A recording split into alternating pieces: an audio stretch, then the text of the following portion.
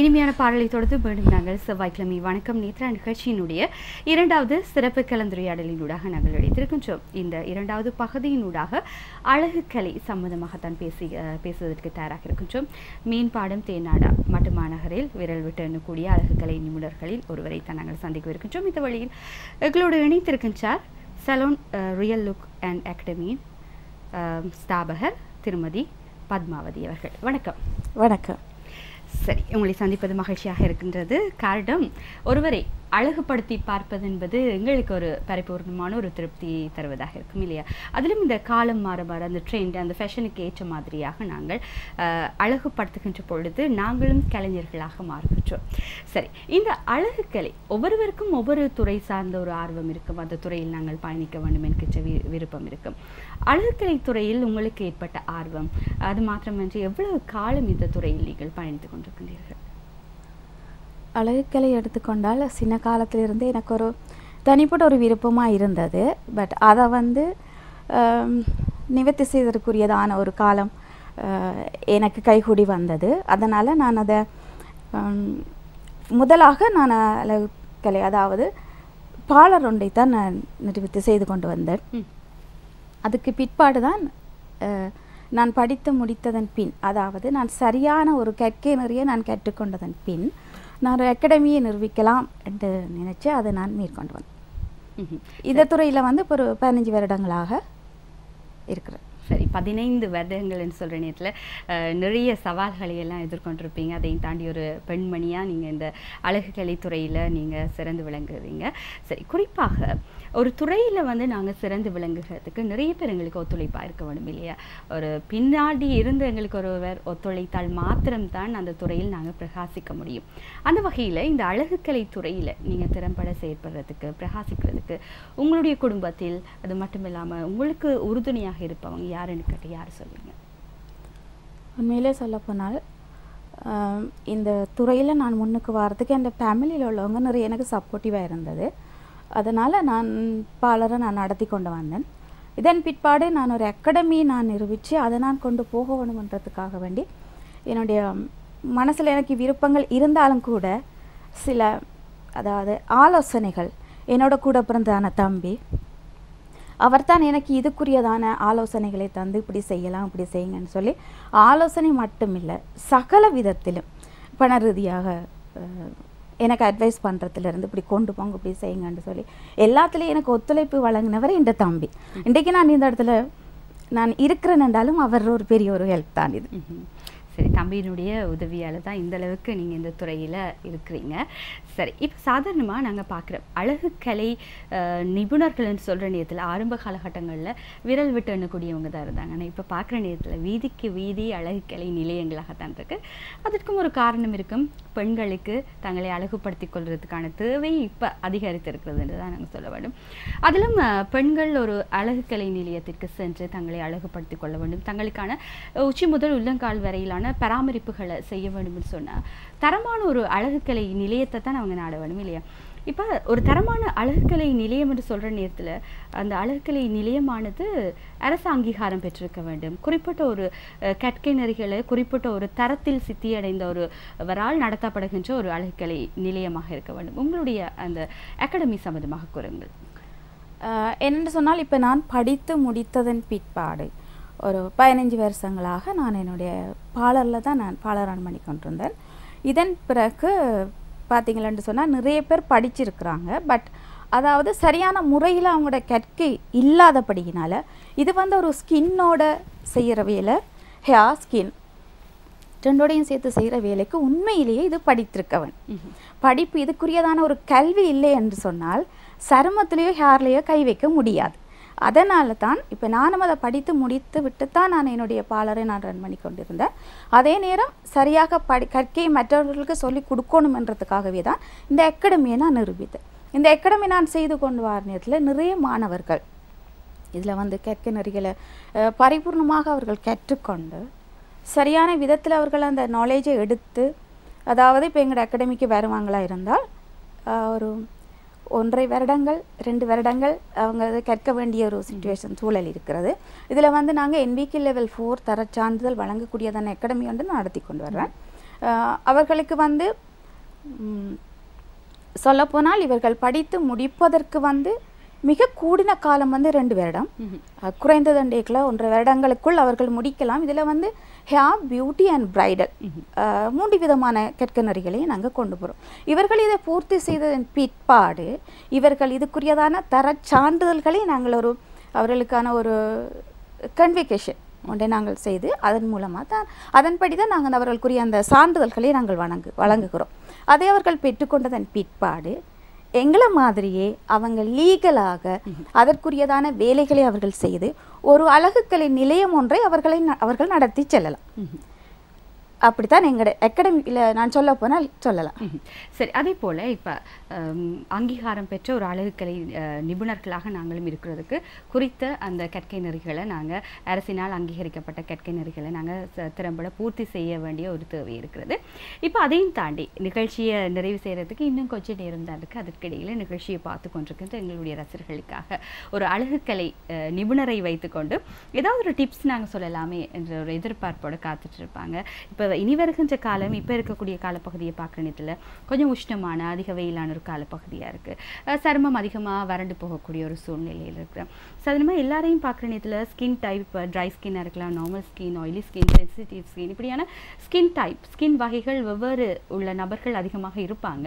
ஆகவே பொதுவாக இந்த சரும வகை இருப்பவங்க இப்படியான வெயில் காலத்தில் எப்படி சருமத்தை பராமரிக்கலாம்? இது வந்து பெரிதாக இப்போ நீங்கள் இதில் பணம் கூடுதலாக செலவழிக்க வேண்டியதான அவசியம் இல்லை. யாராக இருந்தாலும் ஆணாக இருக்கட்டும் பெண்ணாக இருக்கட்டும் என்ன ஸ்கின் டைப்பாக இருந்தாலும் பிரச்சனை இல்லை. இவங்க வந்து வீட்டில் செய்யக்கூடியதான ஒரு இது. சிலவங்களை பார்த்தீங்கன்னா ஸ்கின் வந்து ஆயிலியாக இருக்கும் சிலவங்களுக்கு ட்ரையாக இருக்கும்.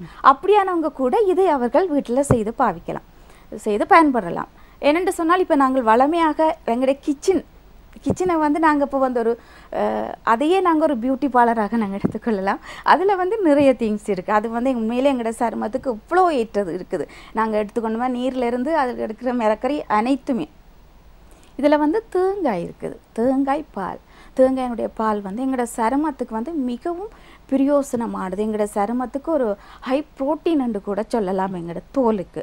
அதை நாங்கள் தேங்காயை நாங்கள் துருவி எடுக்கிற நேரம் அதில் தண்ணி விடாமல் அந்த பாலை மாத்திரம் நாங்கள் கசக்கி புளிந்து எடுக்க வேணும். ஒரு ஒரு பத்து எம்எல் அந்த கணக்குக்கு நாங்கள் பாலை நாங்கள் எடுத்துட்டு அந்த பாலை தேசிக்காய் புளி லெமன் ஜூஸ் ஒரு பத்து ட்ராப் இதையும் அதோட கலந்து நாங்கள் மிக்ஸ் பண்ணி நாங்கள் ஒரு சிக்ஸ் ஹவர்ஸ் வைக்கிற நேரம். மிக்ஸ் பண்ணிவிட்டு அதாவது கலந்து விட்டு வைக்கிற நேரம். ஒரு கொஞ்சம் நேரத்துக்கு ஒரு ஆறு மணி பிறகு அதை நாங்கள் எடுக்கிற ஒரு க்ரீம் பேஸாக அது இருக்கும். அது வந்து எல்லா ஸ்கின் காரணம். உச்சிருந்து அதாவது உள்ளங்கால் வரைக்கும் பொடி பூராக அதை போடலாம். போட்டு லைட்டாக ஒரு மசாஜ் ஒன்று பண்ணிட்டு அதாவது நைட்டுக்கு போட்டு ஓவர் நைட் விட்டு மார்னிங் வாஷ் பண்ணுறது இன்னும் பெட்டர் அதை விட இப்போ அவங்களுக்கு அப்படி இருக்க இயலாதுன்னு சொல்கிறவங்க ஒரு ஒன் ஹவர் டூ ஹவர்ஸ் அப்படி போட்டு இருந்துட்டு அவங்க அதை கழுவி வார நேரம் அவங்களோட ஸ்கின் வந்து வறண்டத்தன்மை இல்லாமல் நல்ல ஷைனியாக நல்லா இருக்கும். அதே நேரம் இப்போ சிலவங்களுக்கு ஒயிலி ஸ்கின்காரருக்கும் அது ஓகே பட் பிம்பிளோட இருப்பாங்களே பிம்பிளோட இருக்கிறவங்களுக்கு வந்து அதில் வந்து புதினாயில் புதினா இலை. புதினா சாறு அதோட மிக்ஸ் பண்ணி அதில் அப்ளை பண்ணி பாரு நேரம். ஃபேஸில் பிம்பிள் அது குறைஞ்சிரும். அதில் அவங்களோட ஸ்கின் வந்து நல்லா இருக்கும். இவங்க அதை தொடர்ச்சியாக செய்து வார நேரம். நல்ல ஒரு மாற்றத்தை காணும். சரி ந- நல்லதொரு டிப்ஸ் சொல்லியிருக்கிறீங்க தேங்காய் பால் அதோட தேசிக்காய் சாறு. இது ரெண்டையும் வந்து மிக்ஸ் பண்ணி நான் கொஞ்ச நேரம் வைக்கிற நேரத்தில் ஒரு க்ரீம் பதத்தில் வரும். அதுக்கு பிறகு நாங்கள் உச்சி முதல் உள்ளங்கால் வரைக்கும் நாங்கள் அப்ளை பண்ணலாம். இது ஒரு சாதாரணமாக அந்த தேசிக்காய் சாறு அது ஒரு நேச்சுரல் ப்ளீச் தன்மை ப்ளீச் இருக்குது. மற்றது தேசிக்காய் அந்த அந்த தேங்காய் இந்த ஆயில் வந்து எங்களோட ஸ்கின்னுக்கு அவ்வளவு நல்ல ஒரு க்ளோவிங்காக இருக்கும் சரி நிறைய பேர் வந்து பேர் குறிப்பிடப்படாத கடைகளில் விற்கப்படுகிற இந்த ஒயிட்னிங் க்ரீம்ஸ் வெள்ளையாக வேண்டும் என்பது எல்லோருடைய ஆசை. இருந்தாலும் அஹ், பேர் இருக்கிறதா என்று கூட பார்க்காமல் என்ன பிராண்ட் என்று கூட பார்க்காமல் வாங்கி பாவிக்கிறீர்கள். அவற்றை எல்லாம் கொஞ்சம் தவிர்த்து இப்படியான வீடுகளில் இலகுவாக தயாரிக்கக்கூடிய உங்களுக்கு எந்த விதமான பக்க விளைவுகளையும் விளைவிக்காத இயற்கை உற்பத்திகளை பயன்படுத்துகின்ற பொழுது அதனூடாக கிடைக்கின்ற அந்த அழகு நிரந்தரமான. நிரந்தரமானது? அது ஸ்கின்னுக்கு ஏற்றதாக இருக்கும். அதில் எந்த கெமிக்கலும் இல்லை. நேச்சுரல் லுக் கொண்டு அவங்களுக்கு கிடைக்கும். சரி அதே போல தான் இப்போ சாதாரணமாக நாங்கள் ஸ்கின் சம்மந்தமாக பேசியிருக்கிறோம் இல்லையா? அதையும் தாண்டி ஹேர் கூந்தல் சம்மந்தமாக பேசுகிற நேரத்தில் கூந்தல் உதிர்விற்கும் கூந்தல் வறட்சி அடைகிறதுக்கும் நிறைய காரணங்கள் இருக்கலாம். அதுல ஒரு காரணம் இந்த பொடுகு பிரச்சனை மிக முக்கியமான பிரச்சனையா இருக்கும் பலருக்கு. இந்த பொடுகு பிரச்சனைக்கான தீர்வு நீங்க சொன்ன மாதிரியே இந்த சமையல் அறையில ஏதாவது தீர்வு கிடைக்குமா? கண்டிப்பாக. என்னென்று சொன்னால் இப்போ சிலருக்கு பார்த்தீங்கன்னு சொன்னால் டன்ரப் வாரத்துக்கு பொடுகு வாரத்துக்கு நிறைய காரணங்கள் இருக்குது எல்லா காரண காரணத்துக்கும் ஒரு நிரந்தர தீர்வுண்டு கூட இதை நாங்கள் சொல்லலாம். சமையல் அறைக்கு மீண்டும் நான் தேங்காய்க்கு வருகிறேன். தேங்காய் பால்ல இருந்து எடுக்கிறதான ஆயில் பியூர் ஆயில் தேங்காய் பால்லேருந்து எடுக்கிறதான அந்த ஒயிலை நாங்கள் எடுத்து அதில் வந்து உங்களுக்கு தெரியுமா தெரியல பொடுதலைன்றதான ஒரு முகுலியை இருக்குது பொடுதலை அது வந்து பெரும்பாலும் ஆத்து ஓரங்கள்ல அது படர்ந்து இருக்கும் நிலத்தோட படர்கிறதான ஒரு. மூலிகை கடைகள்ல மூலிகை கடைகள்ல இருக்கலாம். இது வந்து இப்போ நாங்கள் ஆத்தோரங்களில் பார்ப்போமா இருந்தால் அது வந்து நேச்சுரலாக இயற்கையாகவே அது எங்களுக்கு கிடைக்கக்கூடியது உண்டு. கடவுள் கொடுத்த நிறைய கொடைகள். காயை பதப்படுத்தி பயன்படுத்தாமல் நேச்சுரலா இயற்கையா நாங்க பயன்படுத்த வேண்டும். பயன்படுத்துறது இன்னும் நல்லது. அதை வந்து நாங்கள் என்ன செய்ய மாட்டோம் அதை அந்த வேரோட அந்த அதை நாங்கள் பிடுங்கி எடுத்து அதை என்ன செய்ய மாட்டோம் நல்லா கழுவிட்டு இந்த தேங்காய் எண்ணெயில் போட்டு நாங்கள் அதை அதாவது இதை அரைக்க வேணும். அந்த மர இந்த பொடுதலைன்றதான ஒரு கொடி அது. அதை நாங்கள் அரைச்சிட்டு அதை நாங்கள் இந்த தேங்காய் எண்ணெயோட மிக்ஸ் பண்ணி அதை நாங்கள் இளஞ்சூட்டில் அதை காய்ச்சி எடுக்க வேணும். அதாவது இலைப்பகுதி மாத்திரமா இலைப்பகுதி வேர் பகுதி அதுல சின்ன சின்ன காய்கள் இருக்கு. எல்லாமே. அது எல்லாம் பிரியோசனமானது. அது வந்து தலையில இருக்கிற அந்த பொடுகு அந்த பொடுகுல காணப்பட அந்த கிருமி அந்த பொடுக்கு வந்து ஒரு பங்கஸ் தானே அது எல்லாத்தையும் அழிக்கக்கூடிய தன்மை இந்த பொடுதலைக்கு இருக்கு.